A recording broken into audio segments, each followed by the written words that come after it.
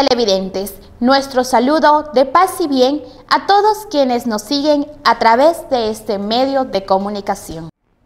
Comenzamos una nueva semana del mes de abril, encomendándonos al Señor con la siguiente oración. Señor y Dios nuestro, te rogamos que tu gracia nos conceda participar generosamente de aquel amor que llevó a tu Hijo a entregarse a la muerte por la salvación del mundo. Te lo pedimos por nuestro Señor Jesucristo, tu Hijo, que vive y reina contigo en la unidad del Espíritu Santo y es Dios por los siglos de los siglos. Amén.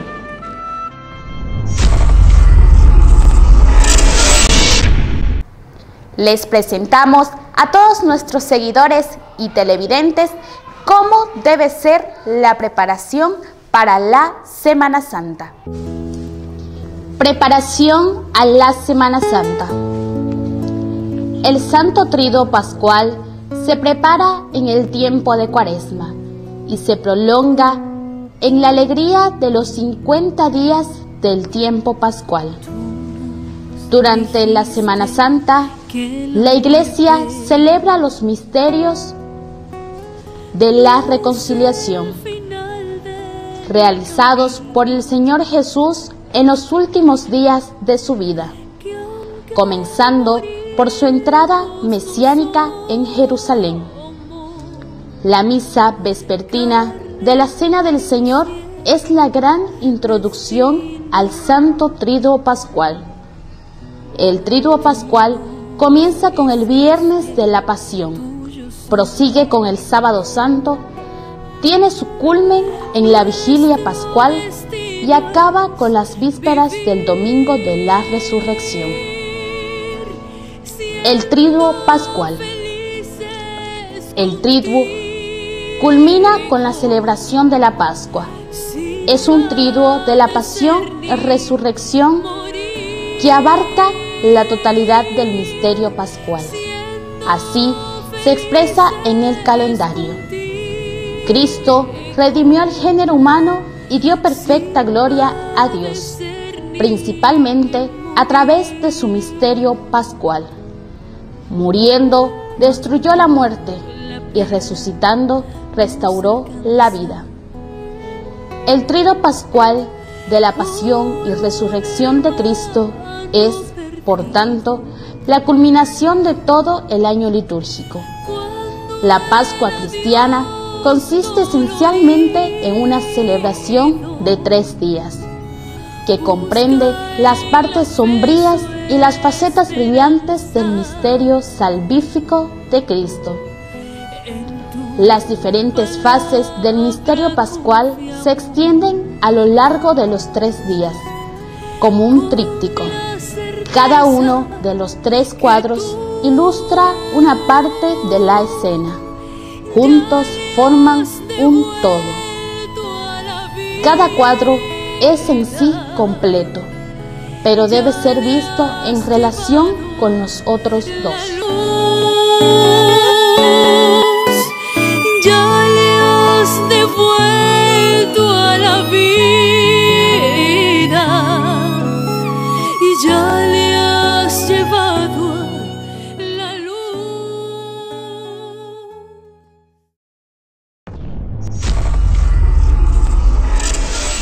Se realizaron en los diferentes barrios de San Ignacio de Velasco el día viernes 5 de abril el Via Crucis.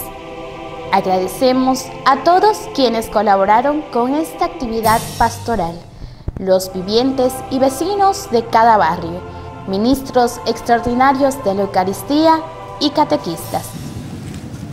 Tercera estación. Jesús es condenado por el Sanedrín.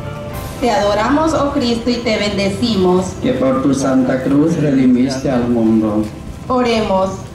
Señor de la cruz y de la vida, ayúdanos a comprender en medio de tanta confusión, a esperar donde todo parece acabarse, a ver tu designio donde todo es oscuro, a ser testigo de tu reino, aunque tengamos que dar la vida, a confiar en los otros, aunque nos hagan daño, a perdonar en la injusticia, a amar sin medida. Amén. Padre nuestro que estás en el cielo, santificado sea tu nombre. Venga a nosotros tu reino. Hágase tu voluntad en la tierra como en el cielo.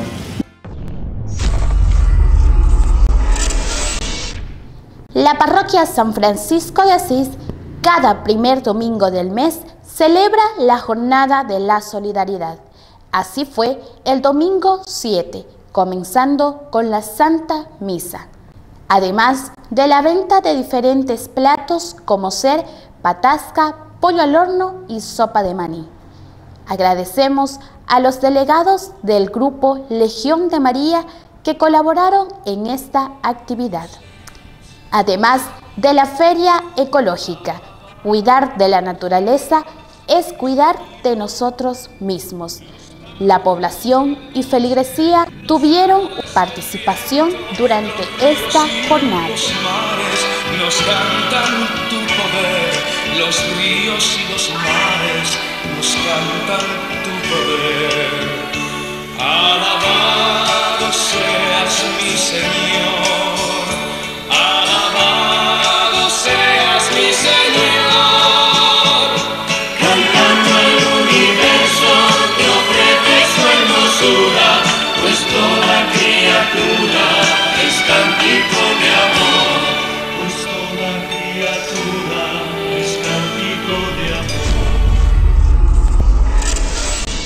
El día domingo 7 se llevó a cabo la Santa Misa Dominical. Escuchemos la homilía que dirige el sacerdote hacia todos los presentes. Jesús, acompáñame, yo no te quiero fallar, ya no te quiero fallar jamás.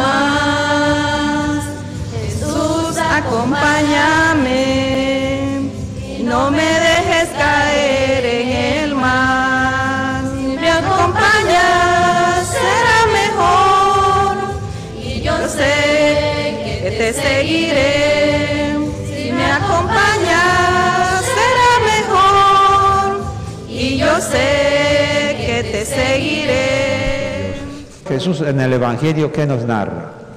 Nos narra una situación que los evangelistas relatan porque buscan cómo acusar al Señor, porque no le gustaba a Jesús su actitud frente a los pecadores, que se acercaba a la gente como lo decía otros, mala gente, comía con ellos, decían, hablaba con ellos, y no les gustaba a los fariseos esto.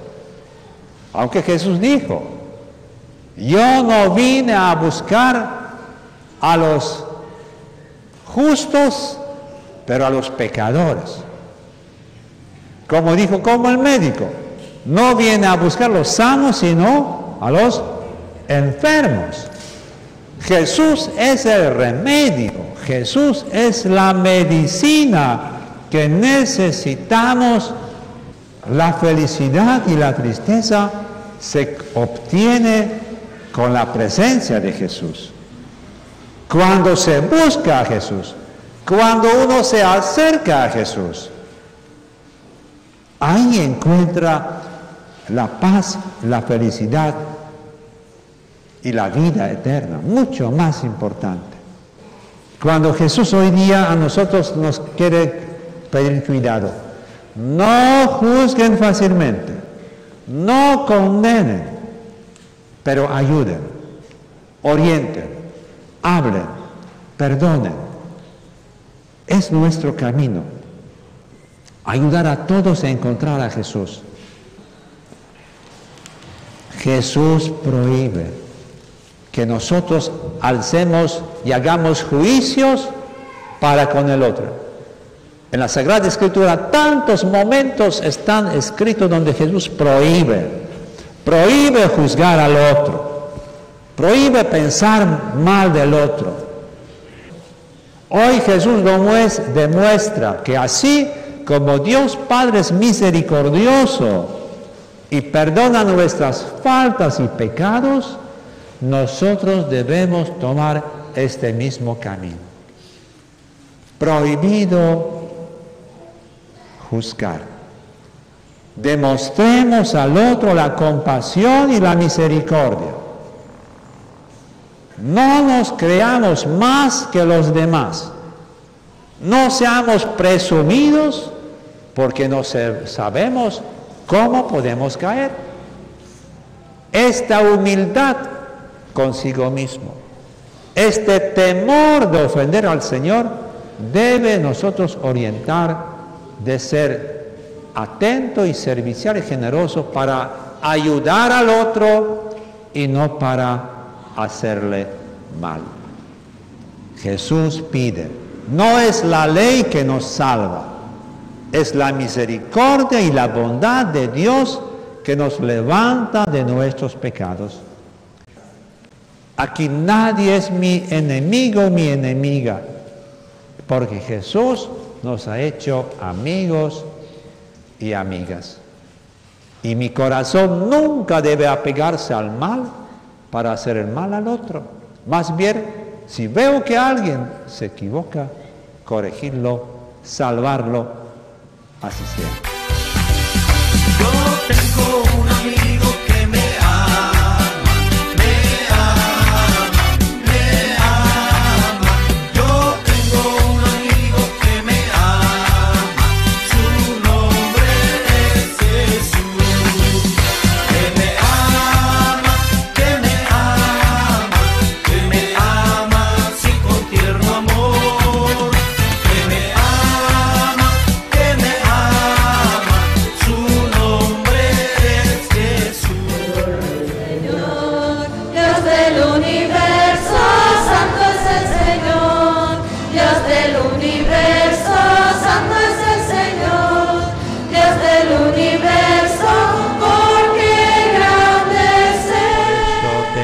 Pedimos que santifiques estos dones con la efusión de tu Espíritu, de manera que sean para nosotros cuerpo y sangre de Jesucristo nuestro Señor, el mismo cuando iba a ser entregado a su pasión, voluntariamente aceptada, tomó pan, dándote gracias, lo partió y lo dio a su discípulo diciendo, Tomen y coman todos de él, porque esto es mi cuerpo que será entregado por ustedes.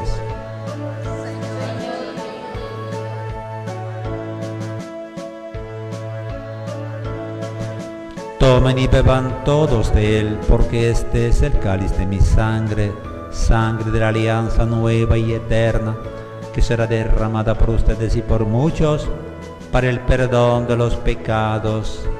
Hagan esto en conmemoración mía.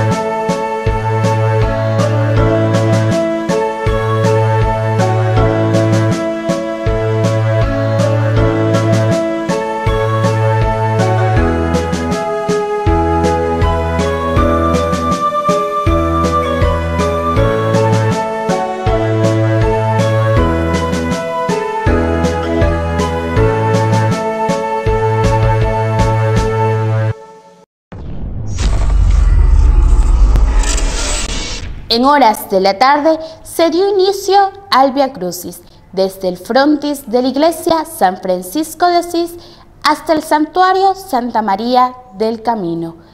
Agradecemos al alumnado y profesorado del Colegio San Ignacio de Loyola, quienes estuvieron a cargo de este Via Crucis.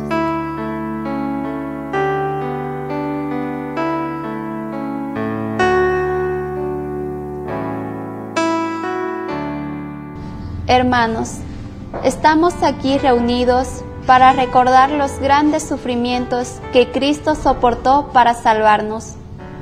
Un día Cristo dijo, no existe amor más grande que dar la vida por los amigos.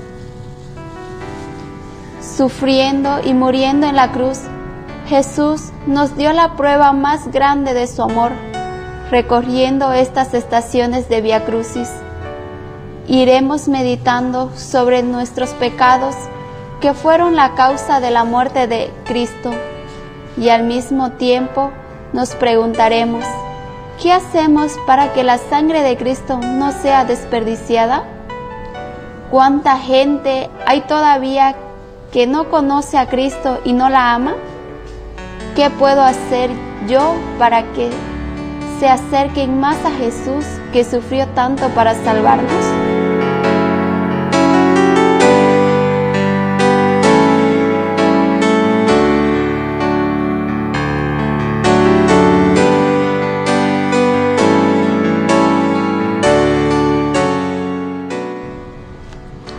Primera estación. Jesús es condenado a muerte. Te adoramos Cristo y te bendecimos, porque con tu santa cruz redimiste al mundo. Nosotros somos aquel pueblo por el que Cristo fue condenado a muerte. Cristo aceptó ser nuestro representante delante del Padre y pagar por nuestros pecados. La condena de Pilato tenía que recaer sobre cada uno de nosotros. Oremos. Señor Jesús, gracias por habernos amado tanto. Ten piedad de nosotros. Ayúdanos a conocer nuestros pecados que han sido la causa de tu condenación a muerte.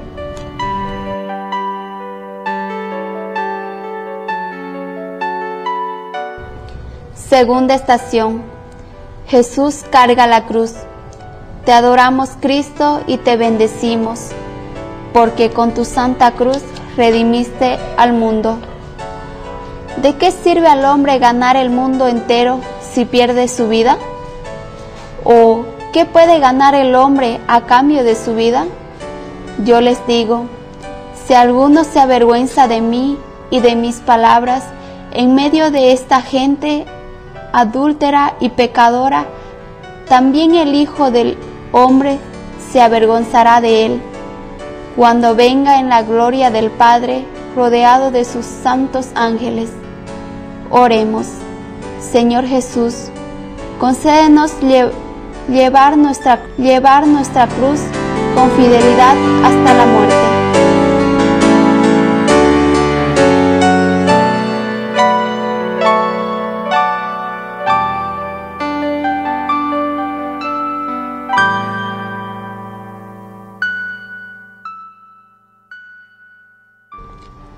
Tercera estación.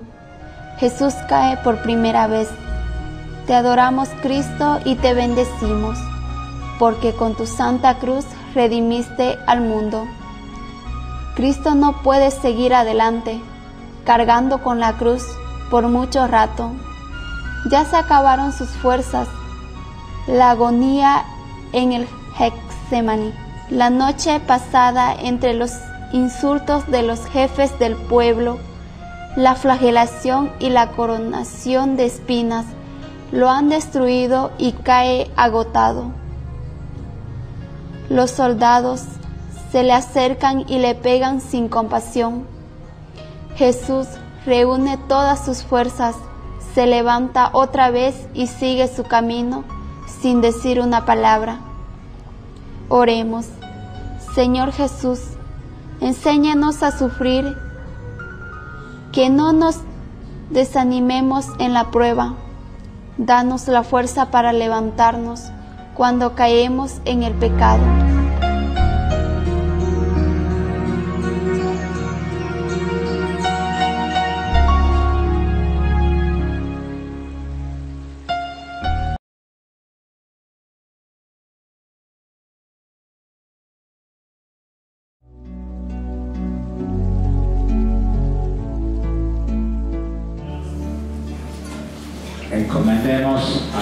Santísima Virgen María este caminar nuestro en este quinto domingo de Cuaresma,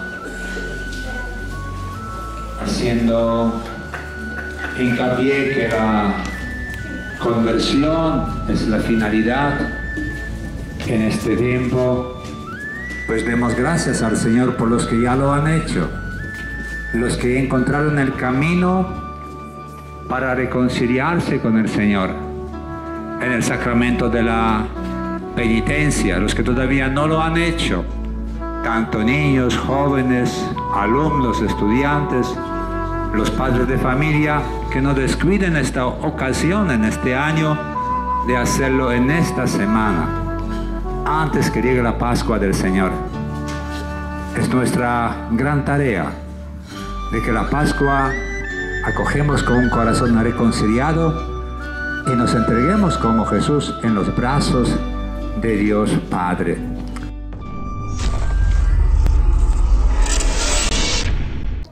Deseamos que tengan un excelente inicio de semana. Que el Señor los bendiga y los guarde. Será hasta un próximo encuentro. Chapié Churapa.